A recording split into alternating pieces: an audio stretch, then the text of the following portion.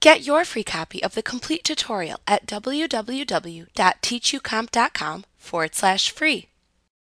A new feature in PowerPoint 2013 allows you to attempt to recover unsaved presentation files. If you want to see if PowerPoint has automatically saved a copy of an unsaved presentation you were working on, select the File tab within the ribbon and click the Open command at the left side of the Backstage view. In the area to the right of the command panel, select the Recent Presentations command. Then look at the bottom of the pane that appears to the right. You should see a button far at the bottom of the Recent Presentations section.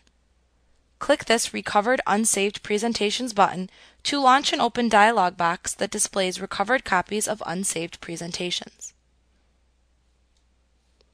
It may be helpful to sort the files by the Date Modified column to display the listing of recoverable files by date, as the file names will not be of much use in determining their content.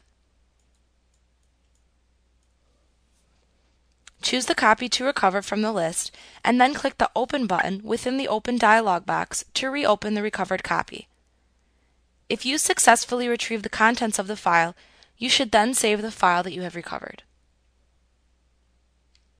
Like what you see? Pick up your free copy of the complete tutorial at www.teachucomp.com forward slash free.